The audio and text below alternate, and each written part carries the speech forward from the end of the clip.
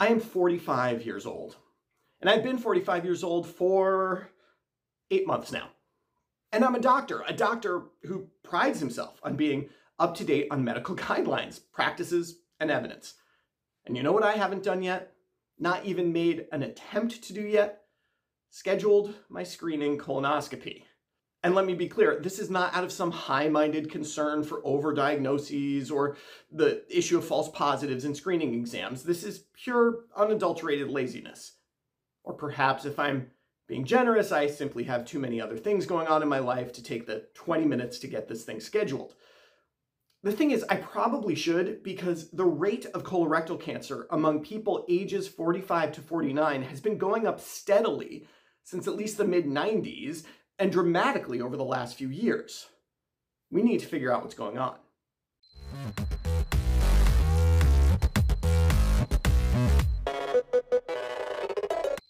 We're going to dig into the rising incidence of so-called early onset colon cancer in a minute, but let me point out that in recognition of the changing demographics of the disease, the United States Preventive Services Task Force, yes, that same USPSTF that may soon be fired en masse by RFK Jr., changed their recommended starting screening age from 50 to 45 years of age in 2021.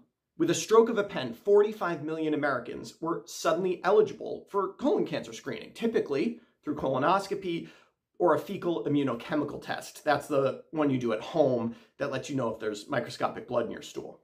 And now, four years later, we can look back and see the effect that change in screening criteria had.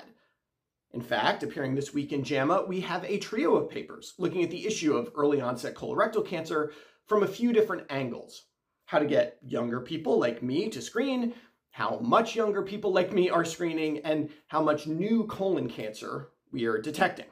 Let's start with the screening numbers. Jessica Star at the American Cancer Society and colleagues used a nationally representative health survey to look at screening across various age groups and over time. The primary results are here. You can see that screening is pretty rare among 40 to 44 year olds, and hasn't changed much over time. That seems right.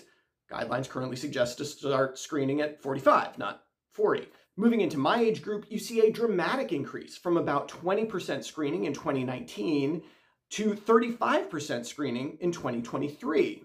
That's about a 60% relative increase in baseline screening rates. It's not perfect, of course. People like me who haven't gotten around to screening yet are still in the majority, but it shows how guideline changes can move the needle on this stuff. Of course, it's worth noting that the Affordable Care Act, Obamacare, mandates that insurers cover any screening test recommended by the USPSTF. Paying for screening also increases screening. One concern people had about the changing guidelines was that all this new screening in younger people would crowd out screening in older people. The data fortunately doesn't show this. Screening rates were high and stable in the over 50 crowd over the past five years. If you're a believer in screening, you probably want to know how to improve rates among younger people like me. In another article in this week's JAMA, researchers led by Artin Galoosian at UCLA report out results from a randomized trial that tried four different strategies to increase the screening rate in people aged 45 to 49. A bit over 20,000 individuals were randomized. A quarter of them got invited via an online patient portal to use the fecal immunochemical test for screening. A quarter got invited to do a screening colonoscopy. A quarter got invited to do either. They could choose which they preferred. And finally, a quarter simply got mailed a fecal immunochemical test. Of the people invited to do FIT testing, 18% got some kind of screening, mostly colonoscopy actually. Of those invited to colonoscopy, 15% got screened. Of those given the choice between the two, 18% picked one or the other. But in those who just had the test show up in the mail, 28% completed screening. This is pretty powerful data. It confirms a fundamental principle of behavioral economics. People will do things if you make it easy for them. Anecdotally, if I opened the mail tomorrow and a FIT test was in there, I'm pretty sure I would do it since that isn't standard of care yet. I need to call my PCP, who I haven't seen in like five years, and go through the rigmarole. But I'll do it I will.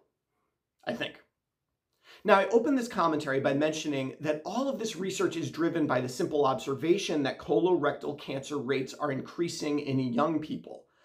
Third paper in JAMA this week from Elizabeth Schaefer and colleagues at the American Cancer Society tracks those rates for us from 2006 on using the SEER database. There's some really interesting findings here. Let me start with this picture. The rate of any colon cancer diagnosis in individuals 45 to 49, you see a steady uptick, about 1% per year from 2006 on, and then a dramatic increase, about 12% in the past few years. That's a scary graph, but I'll de-scare it a bit for you. Here's the graph for local colorectal cancer over that time period.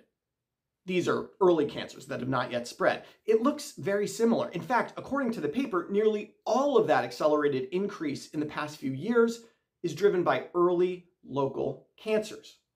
That's a strong signal that it is the increased screening that is leading to increased diagnosis as opposed to some new environmental or other exposure.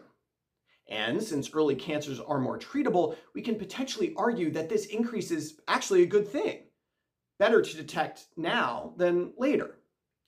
But the rise in CRC in young people is not all due to screening. Here is the graph showing the rate of colorectal cancer with distant metastases over time.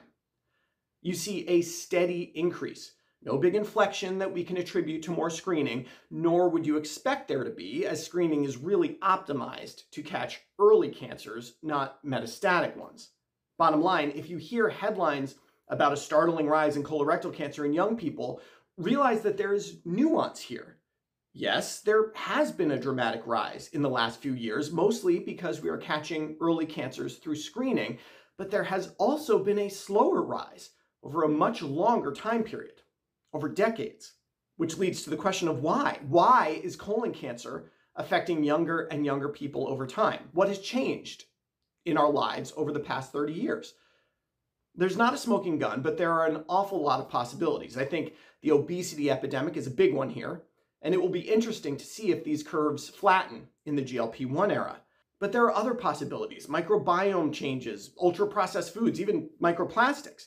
It'll take a bit more detailed epidemiology to get to the bottom of the increased risk in younger people. But given the data, well, I should probably call my PCP and get that damn colonoscopy scheduled. For Medscape, I'm Perry Wilson. Thank you.